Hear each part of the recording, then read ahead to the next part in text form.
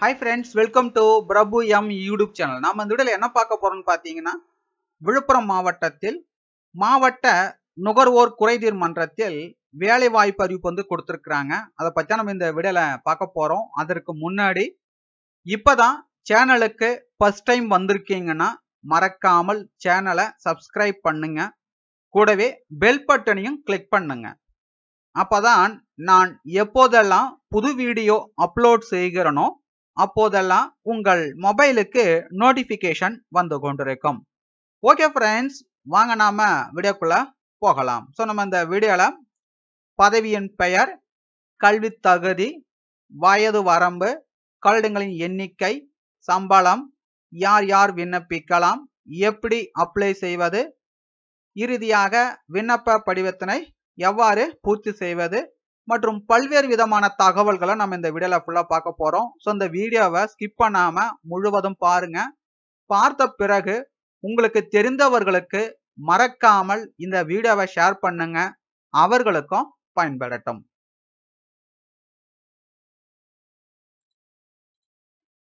பதவியின் பெயர் பார்த்தீங்கன்னா அலுவலக உதவியாளர். கல்வி தகுதின்னு பார்த்தீங்கன்னா எட்டாம் வகுப்பு தேர்ச்சி பெற்றிருக்க வேண்டும். வயது வரம்புன்னு பார்த்தீங்கன்னா முப்பது ஆறு இரண்டாயிரத்தி பத்தொன்பது அன்று வயது வரும் பார்த்தீங்கன்னா எஸ்சிஏ எஸ்சி எஸ்டி பார்த்தீங்கன்னா பதினெட்டு முதல் முப்பத்தி ஐந்து. எம்பிசி பிசி பார்த்தீங்கன்னா பதினெட்டு முதல் முப்பத்தி இரண்டு.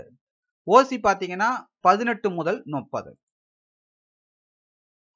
சம்பளம் பார்த்தீங்கன்னா பதினஞ்சாயிரத்து எழுநூறு பிளஸ் டிஏ பிளஸ் ஹெச்ஆர்ஏ காலிடம் பார்த்தீங்கன்னா ஒன்று தான் வந்து கொடுத்துருக்குறாங்க. இன சுழற்சின்னு பார்த்தீங்கன்னா பொது போட்டி முன்னுரிமை பெற்றவர். அனுப்ப வேண்டிய முகவரி பார்த்தீங்கன்னா தலைவர் மாவட்ட நுகர்வோர் குறைதீர் மன்றம் நகராட்சி சமுதாய கூடம் கிழக்கு பாண்டி ரோடு விழுப்புரம் ஆறு ஜீரோ ஐந்து ஆறு ஜீரோ இரண்டு விழுப்புரம் மாவட்டம்.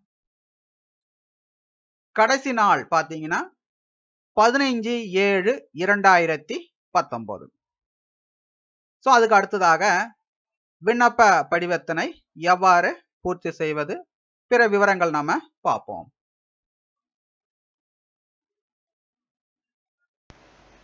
ஸோ பார்த்தீங்கன்னா புகைப்படம் பாக்ஸ் வந்து கொடுத்துருக்காங்க பாருங்க. ஸோ அந்த பாக்ஸில் உங்களுடைய ஃபோட்டோவை ஒட்டிடுங்க. ஒட்டிட்ட பிறகு ஃபோட்டோவுக்கு மேலே உங்களுடைய சைனை வந்து போட்டுடுங்க. ஸோ அதுக்கடுத்தாக பெயர் என்ற இடத்துல உங்களுடைய பெயர் பார்த்தீங்கன்னா சான்றிதழ்கள் எப்படி கொடுத்துருக்குறாங்களோ ஸோ அதன்படி உங்களுடைய பெயரை வந்து எழுதுங்க. அதுக்கடுத்தாக பாலினம். அதுக்கடுத்த தகப்பனார் கணவர் பெயர் எழுதுங்க. அதுக்கடுத்தாக வயது வந்து எழுதுங்க. அதுக்கடுத்தாக பிறந்த தேதி தேசிய இனம் மதம் இனப்பிரிவு மற்றும் ஜாதி. ஸோ இதுக்கான நகல் வந்து கண்டிப்பாக இணைக்கப்பட வேண்டும். ரைட்டுங்களா ஸோ அதுக்கடுத்தாக முகவரி எழுதுருங்க. அதுக்கடுத்தாக விண்ணப்பிக்கும் பதவி. ஸோ பார்த்தீங்கன்னா அலுவலக உதவியாளர் அப்படின்னு எழுதுங்க.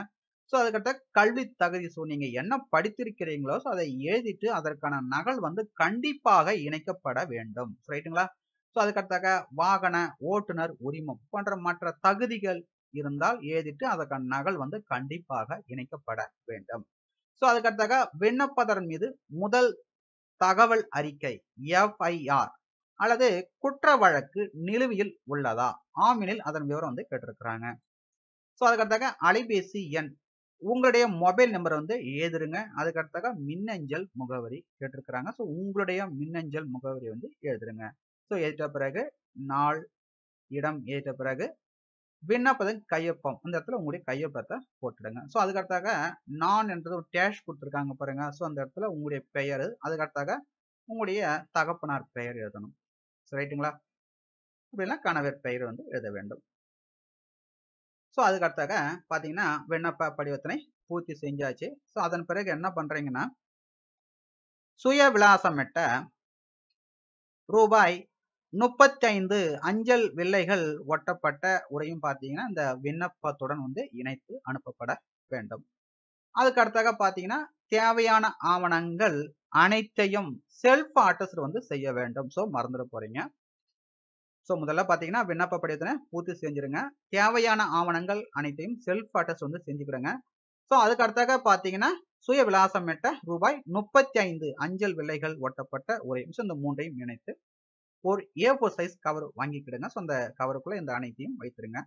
வைத்திட்ட பிறகு உரையின் மேல் பார்த்தீங்கன்னா விண்ணப்பிக்கும் பதவியின் பெயர். ஸோ அலுவலக உதவியாளர் அப்படின்னு எழுதுங்க. அதுக்கடுத்த பிரம் என்ற இடத்துல உங்களுடைய முகவரி எழுதுங்க. டூ என்ற இடத்துல அவர்கள் கொடுத்திருக்கிற முகவரி வந்து எழுதுங்க. ஸோ இதுக்கப்புறம் என்ன பண்றீங்கன்னா பதிவு தபால் மூலமாக மட்டுமே அனுப்பப்பட வேண்டும்.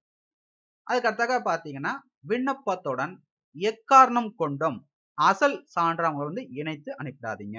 ரைட்டுங்களா ஸோ அதுக்கடுத்தாக பார்த்தீங்கன்னா விண்ணப்பத்துடன் பார்த்தீங்கன்னா அடையாள மற்றும் இருப்பிட சான்றுக்காக ஓட்டுநர் உரிமம் பான் கார்டு வாக்காளர் அடையாள அட்டை குடும்ப அட்டை ஆதார் அட்டை வந்து இணைக்கப்பட வேண்டும். நகல் ரைட்டுங்களா? ஸோ அனைத்தும் பார்த்தீங்கன்னா செல்ஃப் அட்ரஸ் வந்து செஞ்சிருக்க வேண்டும். ரைட்டுங்களா? மேலும் உங்களுக்கு கூடுதல் விவரங்கள் வேணும்னா நோட்டிஃபிகேஷனுடைய பிடிஎஃப் லிங்க் பார்த்தீங்கன்னா டிஸ்கிரிப்ஷனில் வந்து கொடுத்துருக்குறேன். டவுன்லோட் பண்ணி ஃபுல்லாக படித்து பார்த்துட்டு விண்ணப்பிங்க. ஸோ இந்த வீடியோ உங்களுக்கு யூஸ்ஃபுல்லாக இருக்கும்னு நினைக்கிறேன். ஸோ இந்த வீடியோ உங்களுக்கு யூஸ்ஃபுல்லாக இருந்தால் மறக்காமல் ஒரு லைக் பண்ணுங்க கமெண்ட்ஸ் பண்ணுங்க. முடிந்த வரைக்கும் இந்த வீடியோவை உங்களுக்கு தெரிந்தவர்களுக்கு ஷேர் பண்ணுங்க. அவர்களுக்கும் பயன்படுத்தும். மீண்டும் நாம் அடுத்ததொரு வேலை வாய்ப்பில் சந்திப்போம். நன்றி வணக்கம்.